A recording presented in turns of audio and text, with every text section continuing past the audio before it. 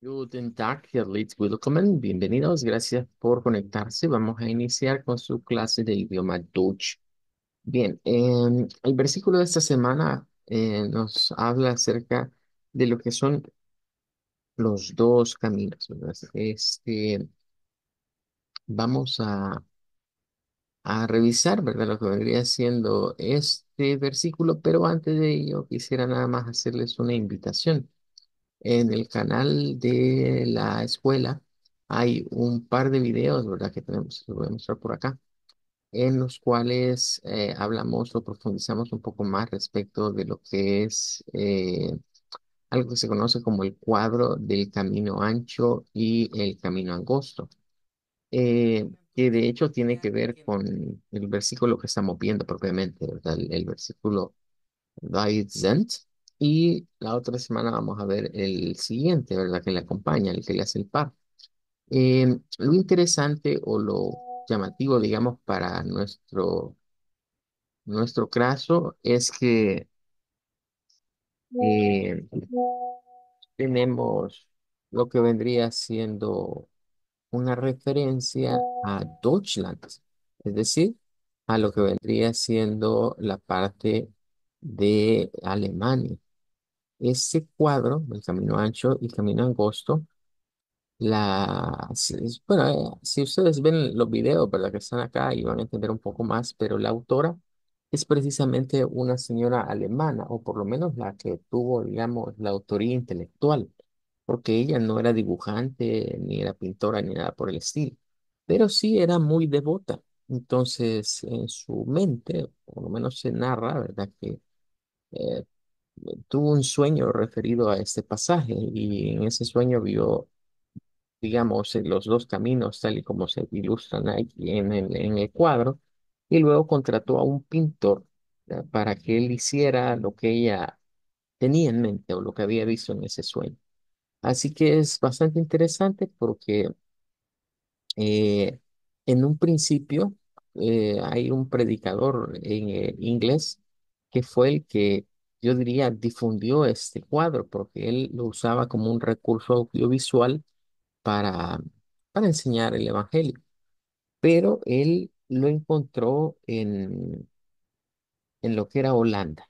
Eh, allí fue donde lo encontró este cuadro y claro, lo encontró en Dutch, es decir, lo encontró en holandés pero se, digamos, se enamoró tanto de, de la pintura esa que se puso a investigar su origen y encontró que su origen era precisamente en Deutschland. Así que es como referencia pues a lo que vendría siendo Alemania, ¿verdad? Como siempre un referente o un país en el cual pues vemos eh, que siempre está destacando por algo, ¿verdad? Y en este caso pues ese cuadro es una obra, digamos, intelectualmente procedente de Alemania, aunque también materialmente, porque pues esta señora se dice que tenía cierto, cierto puesto noble, ¿verdad? Era, era, digamos, perteneciente a la nobleza, a la clase pudiente de aquel entonces de Alemania, y pues igual, ¿verdad? Tuvo que haber contratado a un pintor alemán también para ello. Por eso, pues, nuestro versículo de esta semana, ¿verdad? Estaba referido a Die Engevokte. Die Engevokte. Hemos dicho que es la puerta estrecha o angosta. Bueno, vamos a dejarlo acá, esta parte, y vamos a ir a el tema que tenemos pendiente. Ya abarcamos varios de los tópicos que están en esta página. Es hora de seguir con el siguiente bloque. Bueno, el de los insectos, al igual que el de los mamíferos, eh, resulta ser un tanto largo y eso que no están incluidos, digamos, la mayor parte de, de insectos, ¿verdad? Recuerden que, pues, en ese sentido, pues, eh, cuando hablamos ya así propiamente de todas las especies, pues se vuelve algo complejo, se vuelve algo bastante largo. Vamos a ir viendo aquí, destacando algunas de ellas. Eh, tenemos, por ejemplo, la hormiga que pues no mucho se parecerá al español, al inglés, medio, ¿verdad? Un poco con que comienza con A, tal vez se aproxima, pero nada más ahí. Eh, tal vez el sonido, vamos a ver que se parece un poco. La abeja sí se parece bastante, o menos en el inglés vamos a ver que el sonido es bastante similar.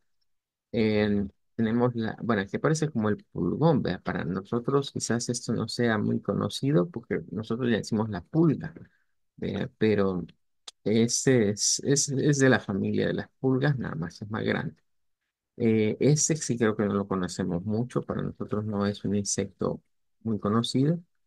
Em, este sí, eh, nada más que nosotros le llamamos de otra manera, ¿verdad? Eh, por lo menos en España sí les dicen así moscardón. Eh, creo que nosotros le decimos moscarrón. eh, hemos cambiado ahí un poco el, el, el sonido de, de, de esto. Que claro, es de la misma familia de la mosca, que se parece un poco también al inglés en el caso del touch. Llegamos a la pulga, que se van a dar cuenta que el sonido es bastante parecido al inglés.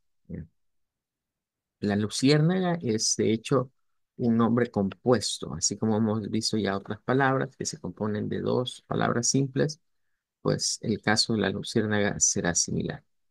El grillo diría yo que es bastante similar al español, se parece bastante.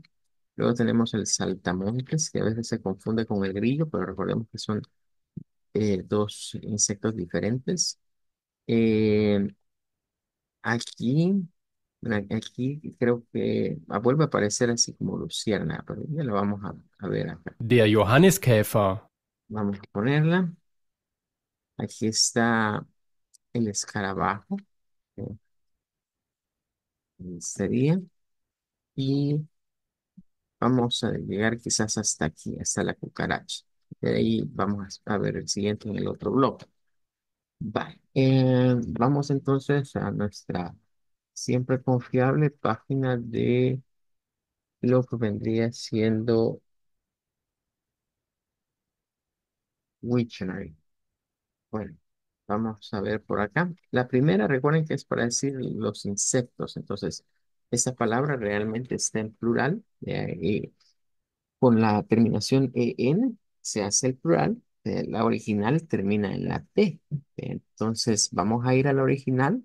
eh, siempre en estos casos vemos que la original sí está transliterada o la palabra raíz. No así, digamos, la palabra que nos viene a dar la, el, el plural. ¿ve? Entonces, eh, esta está bastante fácil, solo lo vamos a pronunciar como insects, Insekt, con la sílaba tónica en la segunda. Ahora, para la que nos corresponde, pues solo van a escuchar que se agrega el en, Insekten, insecten. Basta con agregar la n aquí y ya podemos hacer el plural. Eh, vaya, entonces eso es para decir insect, insecto y insecten, pues es eh, los insectos. Em, bueno. mu- muy parecido al español y bastante parecido también al inglés. Un poquito la escritura quizás es la que cambia. Vamos a ir a la siguiente. Em, bueno, aquí tendríamos la siendo la hormiga. Va, ese está interesante, miren la transliteración, eh, ya que tiene allí algo que creo que no hemos visto en ninguna palabra. Esta es la primera vez que nos va a aparecer Ya lo habíamos visto que el paréntesis nos indicaba el hecho de que hubiese una, eh, un- una consonante o a veces un sonido que iba a ser omitido. Pero en este caso, nótese que el sonido que está acá no es perteneciente a una consonante, sino más bien es un diacrítico. Ameise, Ameise, Ameise, Lo que nos está indicando esta de aquí es que puede haber una pausa. O sea, pueden haber personas que prolonguen el sonido de esta A antes de pasar a la siguiente sílaba. O sea, tenemos tres sílabas. Sería la A, my, za. Entonces, esto nos está indicando que hay personas que pueden hacer como una A sostenida, ya que es la sílaba tónica, algo así como A, my, za, Amaisa. Y otras pueden decirlo de corrido, simplemente como Amaisa. De hecho, los que escuchamos acá así lo hacen. Entonces, para simplificarnos, yo diría que acá lo que vamos a hacer es quitar esta. Eh, como lo hemos hecho en otras ocasiones, cuando hay sonidos así, podemos eh, pasarlos por alto, ¿verdad? Y no va a afectar la pronunciación. ¿Qué hay de interesante en la palabra? Bueno, repetimos patrón EI, donde sonamos a I, y tendríamos el shba al final, en este caso, con la za, amaiza. Bueno, esto sería la hormiga, eh, hormiga.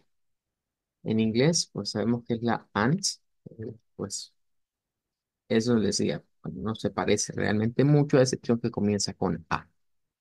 Eh, vamos a la siguiente. Em, bueno, esta es la abeja, es la vina,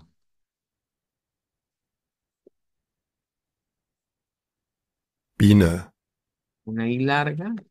¿Y qué, qué tendríamos acá? Bueno, aquí tenemos algo interesante. E I se convierte en AI, pero aquí tenemos IE. O sea, es, un es, es el diptongo al revés. Eh, en este diptongo siempre predomina el sonido de una I. La E no suena. Pero, ¿qué más tenemos? Bueno, una ishba al final. O sea, una E que se convierte en ishba. Bina, bina. En este caso es lo que en inglés se dice la B. Así que debemos tener- tomar en cuenta eso. Em, aquí hay algo que debemos destacarlo, ¿verdad? Siempre nos da alguna información extra y eh, nos está diciendo que si bien es cierto, se utiliza mayormente para referirse a lo que vendría siendo eh, una abeja, nos dice también que coloquialmente se suele utilizar, ¿verdad? Para indicar que una mujer es atractiva. Entonces, por ejemplo, aquí nos dicen una flota vino, es como estar diciendo cuando es una mujer atractiva, una mujer eh, sensual, ¿verdad? Eh, que sería pues algo coloquial. O sea, no es, eh, es una aplicación aparte, ¿verdad? Ya de- del, del, del vocablo, no es, digamos, es lo que se acostumbra a utilizarse dentro del argot popular, digamos, en esa manera del Dodge. Eh, si estuviéramos ante un, un alemán propiamente formal, digámoslo de esa manera, o, o académico, pues la expresión ni siquiera la, la, la, la verían. Bueno, vamos a la siguiente.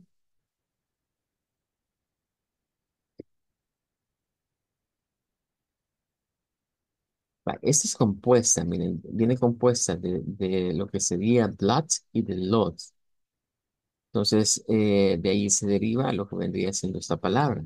Y la tenemos como Blatt Loud. Blatt Loud. Esta diría yo que es muy, muy directa, es de esas palabras que tal como se leen prácticamente eh, las pronunciamos, ¿verdad? Así como está escrita. Em, bueno, aquí tendríamos esta. Vamos a la siguiente para que tengamos un chancecito de practicar al final.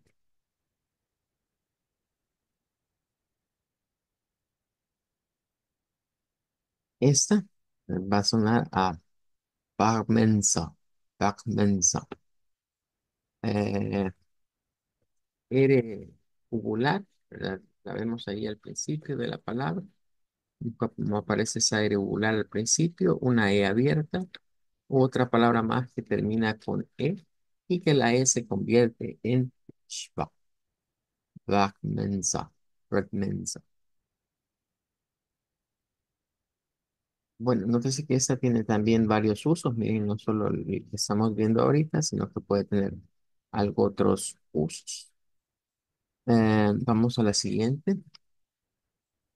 Esa es la que termina en, en ER, ya podemos decir, ah, bueno, ya sabemos que en la ER se va a terminar convirtiendo en una A media, ¿verdad? Al final. Eh, acá la tendríamos como dogma, dogma. Entonces vamos a agregarlo acá.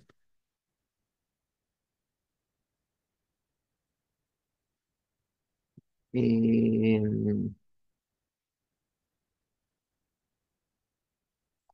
aquí, bueno, esta, quiero ver, si, nos regresamos acá, recordarán que habíamos dicho que habría que tener en cuenta, quiero ver, eh, ah, no, no hemos llegado todavía. es- Ya vamos a. Continuamos con esta. Nótese diptongo IE. Ya vimos qué pasó con una IE, que se convertía en una I larga y luego una I al final. Eh, Bien, queda como plico, plico. De hecho, esta en inglés es la, la, eh, la mosca, eh, que suena como the fly, pero en inglés. Fliege, Entonces, fly, fliga, son sonidos bastante parecidos. Quizás la palabra cambie un poquito la escritura, pero diríamos que mantiene esa línea, ¿verdad? De, de la raíz, viene seguramente de el germán. Bien, vamos con otra más. Esta se parece también al, al inglés, ¿verdad? Eh, por lo menos en, vamos a encontrar un- una similitud. nada más que esta es lo, sí, lo, Floh, y en inglés es la plea, que se refiere pues a la, la pool, lo. Vamos con esta otra que decíamos es de las compuestas, pero esta, aparte de ser compuesta, nos aparece con lo que vendría siendo, miren acá, las dos palabras bases, ¿verdad? Que nos dan origen a esta. Eh, tendríamos por un lado acá lo que es Lloyd Boom, Lloyd Boom. Recordemos que la primera parte, Lloyd, esta, Lloyd, y luego Boom. Etimológicamente esta palabra es como boom, que es gusano, y, y, y you, que vendría siendo como cuando decimos lumbrera o algo que alumbra. Entonces, literalmente viene siendo como el gusano que alumbra, algo así vendría siendo etimológicamente. Y es para la, la. Ahí tendríamos entonces la yubon. Bueno, ahora vamos a lo que sería el, el grillo. Eh, si termina en E, ya tenemos esa idea, eso va a sonar a una ishpa al final. Eh, gela. Eso sería acá. Gela, grillo.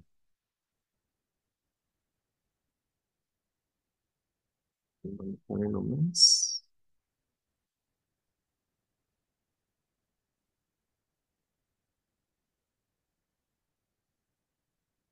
Esta nos va a sonar, ¿verdad? Como hoy al principio. De hecho, es una palabra compuesta. La primera parte es hoy. eh, acá, hoy. Y luego iría la palabra de Con una isba al final. Heuschrecke, Hoy, Sheka, una SH. O sea, a pegarlo para acá. Eh, ¿qué diríamos de esta? Bueno, que la primera parte, por lo menos hasta, tendríamos que separarlo así, miren. H-E-U, ver, el ditongo EU, que lo pronunciamos como hoy, hoy. Ah, y luego esta es la SCH, que es esta SH que está acá. Luego, eh, en este caso se mantiene la R fuerte eh, la K, ¿verdad? la K que viene de esta C y la K, y el H va al final. Uy, recto. Good. Vamos a ir con uno más.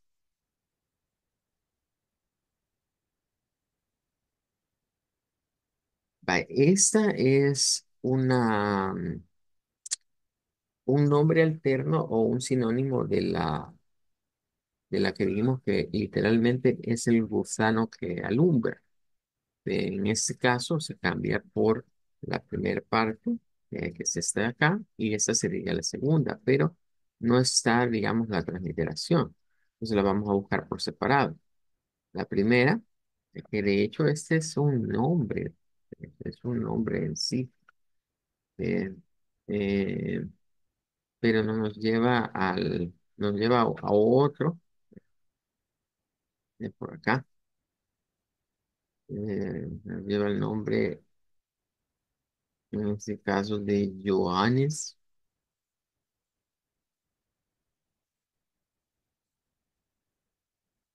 Perdimos un momentito, vamos a retornar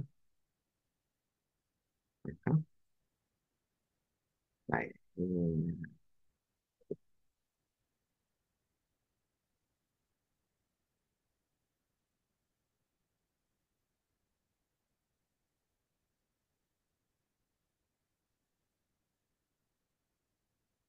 el signo está agregado en Deutsch. A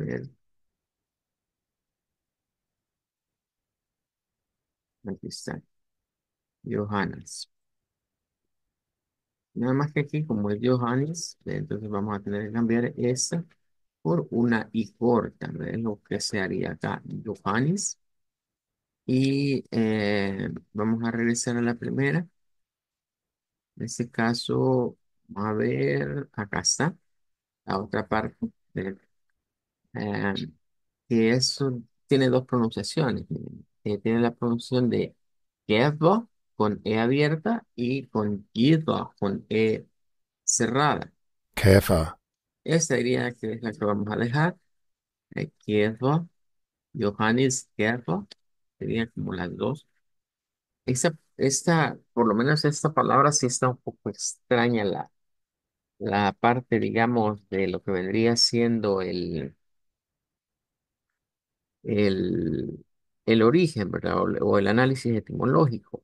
Eh, Pero vendría, bueno, Gefa, cabe mencionar que de hecho es la que vamos a ver a continuación, ya aquí ya habríamos adelantado. Esto es el escarabajo, ese es el escarabajo. Así ya puntualmente es el escarabajo. Eh, y hace alusión como el escarabajo de Juan, algo así vendría siendo el nombre alterno de la, de la luciérnaga. El escarabajo de Juan. Eh, en este caso, pues es un, es un nombre alterno, digamos, que se le da a, a la luciérnaga en Dutch. eh, yo diría que es menos común. Es más común escuchar el, el, el primero estuvimos viendo, el, el de la Gloibung, que es Y vamos a terminar con este otro.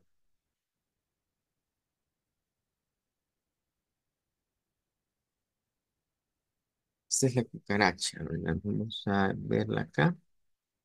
Nos va a sonar, eh, nótese cómo es de estas otras que tienen un diacrítico en medio, ¿verdad? Que lo que hace nada más es extender el sonido. Eh, quizás aquí nos va a sonar un poco extraño esto de ka, cacahuaca.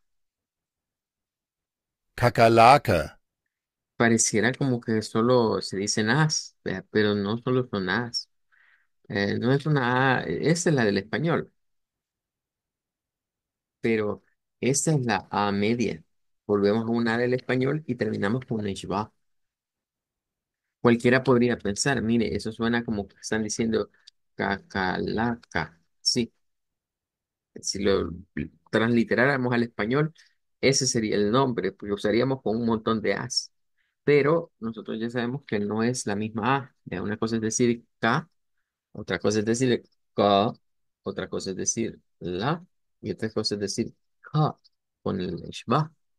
Kakalaka. Entonces, nótese que hay un cambio en los sonidos. Kakalaka. Kakalaka.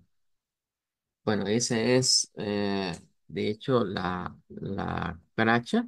y pues Es un nombre especial, diría yo, por lo menos en el lado del Deutsch. Bueno, vamos a ubicarlas por acá. Bien, Este, decimos entonces que aquí diríamos die, die Insekten, die Insekten, que sería entonces los insectos. En este caso, diríamos en la primera, Ameise, Ameise, es para decir la hormiga. Para la segunda, tendríamos Biene, que en este caso es la abeja. Luego tenemos la Blattlaus, Blattlaus, que eso pues se conoce como el pulgón. Eh, luego tenemos lo que es la Brahmsa, Rem- Brahmsa. Esta, la Brahmsa, es el tábano que quizás no es muy conocido para nosotros, por lo menos no con ese nombre. Eh, luego tenemos la Dogma, Dogma, que en ese caso es el moscarrón, Dogma. Seguimos con la mosca, eh, que es la Fliega, Fliega, Fliega. Eh, en el siguiente tenemos el Blo, Blo, que en este caso es la pulga, Blo, Blo. Llegamos a la, a la siguiente, Lloyd Boom, Lloyd Boom, Lloyd Boom, que sería eh, la luciérnaga, la grila, que es el grillo, die grila, diríamos, die grila, y si la hiciéramos plural sería die grillen. Em, luego tenemos la Hoyt-Jeca, Hoyt-Jeca, que es el saltamontes, Hoyt-Jeca. Em, el nombre alterno para la luciérnaga, como Johannes Gepa, Johannes Gepa, es decir, es menos común ese nombre que el otro. La otra sería la Gepa, que es el escarabajo, Gepa. Y vamos a cerrar con Gagalaka, con Que vendría siendo la cucaracha. Jikakalaka. Bueno, ahí estaríamos entonces con este bloque de palabras, ¿verdad? Y de significados respecto de lo que vendrían siendo die Insekten. Bueno, los voy a repetir una vez más para que los puedan escuchar. Tendríamos die Insekten, Ameise, Biene, Blattlaus, Wagensach, Dogma, Fliege, Floh, Oivum, Grilla, Oitcheka, Johannes Käfer, Käfer, Kekalaka. Good. Bueno, hay otro bloque más, ¿verdad? De, de Insecten, pero quizás lo vamos a dejar para la clase que viene, ¿verdad? La, la clase del día de mañana. Vamos a abordar el otro bloque de los insectos. Y de ahí nos quedan así otros animales, ¿verdad? Que están fuera del listado. Ya estamos casi por terminar este tema. Good. Por hoy nos vamos a despedir hasta acá. Vamos a decir a Wiedersehen. Danke, auf Wiedersehen.